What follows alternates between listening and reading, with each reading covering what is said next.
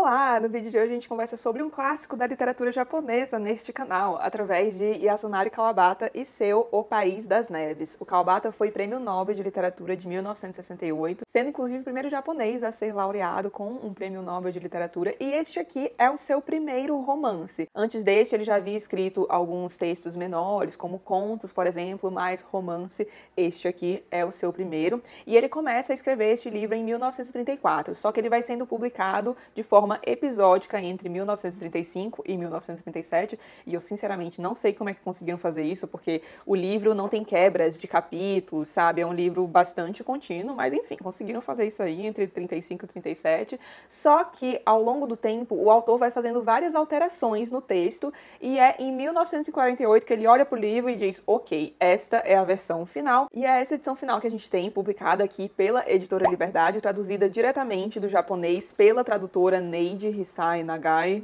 Neide, espero estar falando o seu nome certo. Qualquer coisa me perdoe, eu juro que foi com a melhor das intenções. E a Estação da Liberdade publica a maior parte da obra do Kawabata aqui no Brasil. E devo dizer que eu gosto muito do projeto gráfico. Queria que a folha fosse amarela? Queria, mas vamos focar no projeto gráfico aqui, que eu acho bem bonito. Não sei nem se vocês vão conseguir ver direito, porque a capa é bem clarinha, mas qualquer coisa eu deixo uma fotinho aqui e aí vocês conseguem ver o livro melhor. Mas então, do que que trata O País das Neves?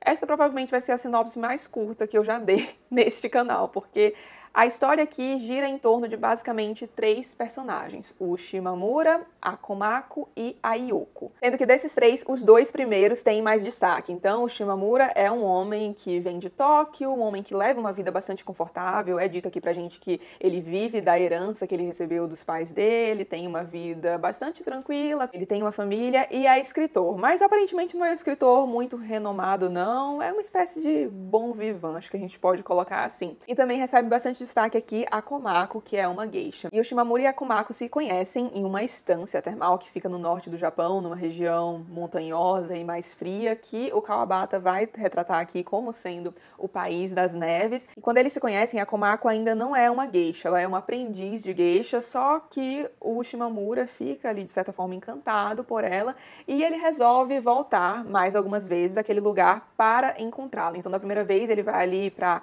espairecer, sair um um pouco dos ares da cidade, mas depois ele passa a voltar uma vez por ano para ter um encontro com a Komako naquela região. E no começo deste livro, Shimamura está indo ao País das Neves para visitar a Komako, só que no trem ele observa uma garota bastante bonita, uma jovem que está cuidando de um homem, com um ar meio maternal ali, com bastante carinho devotado àquele homem, e aquela cena chama a atenção, não só a cena em si, mas a beleza da garota também.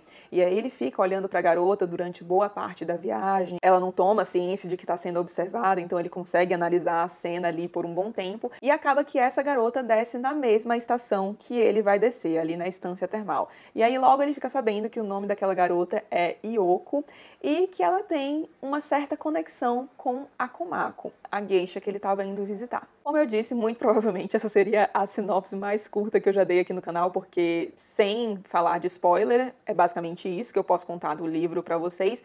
Mas o foco aqui em O País das Neves não me parece ser no enredo, mas sim na forma como Kawabata resolve contar essa história. Eu fui pesquisar um pouco sobre ele, porque eu não sabia praticamente nada do Kawabata, além do fato de que ele escreveu muitos livros e que ele é prêmio Nobel de Literatura. Mas então, fui dar uma pesquisada sobre ele e eu li uma descrição do Kawabata como sendo alguém que pintava as palavras. E eu acho que eu não conseguiria descrever a escrita do Kawabata de uma maneira melhor, porque é meio que isso que você sente, sabe? Que ele tá pintando um quadro enquanto ele te apresenta a história. Eu achei uma escrita bem única, me deu a impressão de ser aquele tipo de autor que você pega um texto e já consegue dizer se é dele ou não, sem ninguém precisar te dizer, sabe? Justamente por causa dessa característica bastante peculiar. E é isso, é como se ele estivesse pintando um quadro e aí os personagens fossem se movimentando aos poucos dentro dele. É meio difícil de explicar, mas eu acho que quem leu vai entender o que eu tô querendo dizer. As primeiras páginas deste livro aqui, inclusive, meu Deus, são lindíssimas. Parece uma coisa até meio onírica, porque o Kawabata tá descrevendo essa viagem do Shimamura,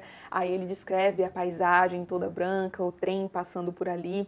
E aí, quando ele narra a cena em que ele começa a observar a Yoko Nossa, é um negócio tão bonito que ele se utiliza da questão do reflexo no espelho, no vidro, do Shimamura enxergando a Yoko e aí com a paisagem se mesclando, a figura dela. Sério, é um negócio muito bonito. E eu ainda pesquisando sobre Kawabata vi que a mulher, a ódio à mulher é um tema bastante recorrente na obra dele e isso está aqui, tanto que são as mulheres que são realmente descritas, analisadas, contempladas. Em contrapartida, o Shimamura é desenhado mais, mais a partir da reação que ele manifesta em relação a essas mulheres. Aí a gente consegue ter algumas ideias sobre ele, mas o foco de descrição aqui está claramente nas mulheres. E eu queria deixar uma dica aqui para vocês que é pesquisem sobre algumas coisas que aparecem no livro, porque aqui ele faz bastante alusão a alguns elementos característicos da cultura japonesa e tem muita coisa aqui que eu não conhecia. E apesar do Kawabata ser muito bom em pintar quadros, etc., em alguns momentos eu sentia vontade de pesquisar o objeto sobre o qual ele falava no Google, porque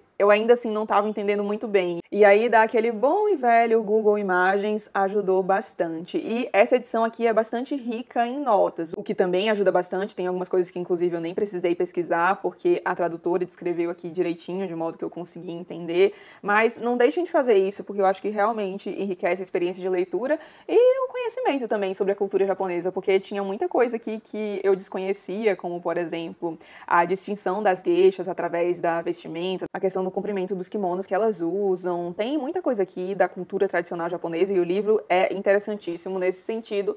Porém, contudo, entretanto, não foi um livro que funcionou para mim.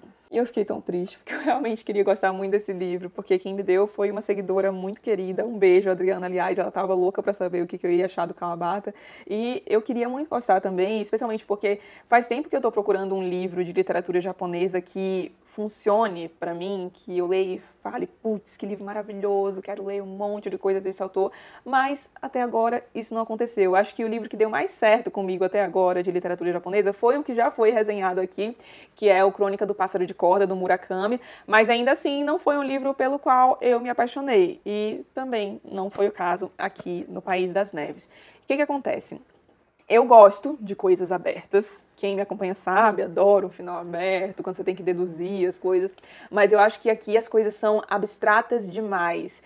Muito é sugerido e pouco é efetivamente afirmado, sabe? Então fica muita coisa aqui para você imaginar, para você tentar deduzir a relação da Komako, por exemplo, com a Yoko. A gente tem uma suspeita boa do que seja, mas isso não fica claro. E em alguns momentos isso me incomodou bastante na narrativa, porque eu acho que acontece em excesso. E aí acaba que, muito por conta disso, por algumas coisas não ficarem explícitas, o final para mim foi um negócio meio. hã? Aquilo aconteceu e eu fiquei, mas gente. E eu também não gostei de acompanhar a relação do Shimamura com a Kumako. E isso é tipo 90% do livro, talvez até mais, porque é uma relação muito inconstante. Então, em diversos momentos eles parecem se repelir, mas também se atrair. É uma relação muito confusa. A Kumako tem alguns incômodos nítidos em relação a algumas condutas dele e ele também em relação a ela, mas eles não conversam, sabe? Não vocalizam essas coisas e às vezes eu ficava só, gente, meu Deus, conversem, parem de ficar nessa confusão. E eu tive a impressão de que boa parte da conversa deles é uma coisa meio aleatória que não permite ao leitor ir mais fundo na alma desses personagens, sabe? Realmente compreendê-los. E eu sou uma pessoa que gosta de compreender as coisas. Eu gosto muito de personagens complexos, mas que são coerentes na sua complexidade. E eu acho que o Kawabata não conseguiu fazer isso para mim aqui. Então, por esses aspectos, acabou sendo um livro que não funcionou para mim.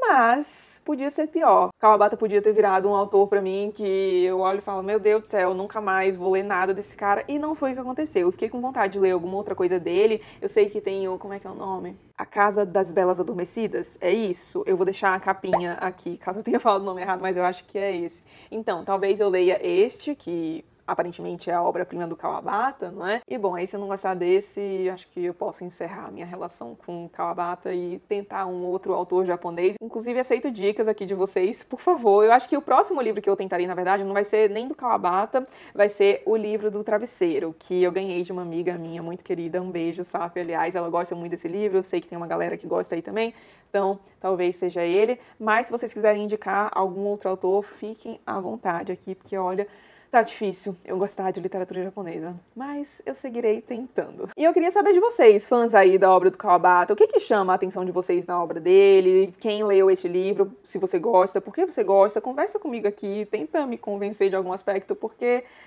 não sei, eu tentei ainda buscar algumas outras opiniões para ver se eu tinha compreendido alguma coisa errada, mas eu acho que só foi um livro que não funcionou para mim mesmo, mas enfim, gostaria ainda de ver a opinião de vocês sobre O País das Neves. Se você gostou do vídeo, não esqueça de deixar um like e de se inscrever aqui no canal, caso não seja inscrito ainda. Um grande beijo e até os próximos vídeos.